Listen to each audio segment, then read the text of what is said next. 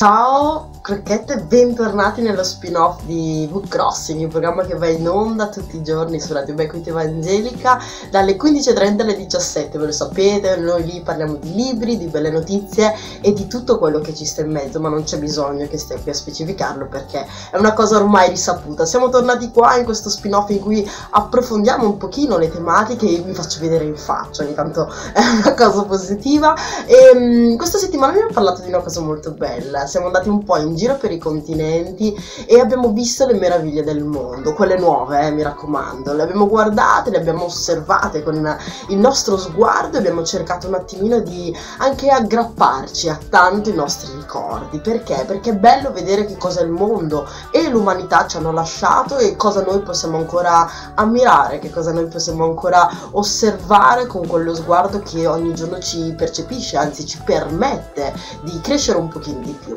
Proprio per questo uno dei giorni che ho preferito di più è uno dei giorni che mi ha fatto ritornare alla mente una delle mie passioni principali, cioè uno ovviamente la creatività, l'immaginazione, lo sapete a me è sempre piaciuto tantissimo fermarmi a pensare immaginare degli scenari proprio mh, apocalittici o anche proprio impossibili. È uno dei miei scenari preferiti grazie a un film d'animazione eh, che fa parte dei grandi classici, è stato ovviamente la grande muraglia cinese. E mh, siamo riusciti ad arrivare in Cina, una cosa meraviglioso, una cosa che anche in base un po' alle cose che sono successe nella nostra attualità, che ci hanno stravolto le giornate, secondo me ci ha fatto bene.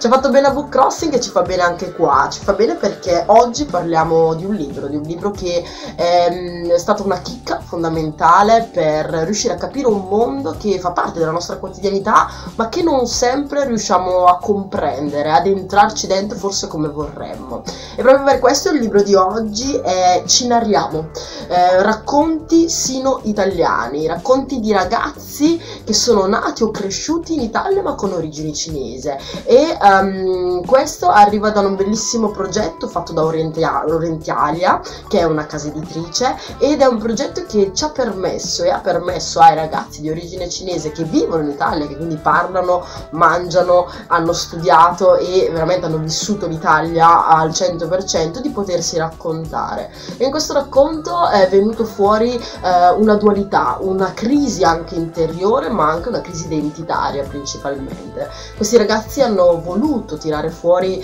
i loro turbamenti, hanno voluto raccontare la loro Cina, che è diversa da quella che noi immaginiamo, ma soprattutto ancora più diversa da quella che ultimamente sui giornali, sui quotidiani, nelle notizie allarmanti di questi giorni è venuta fuori. Questo è un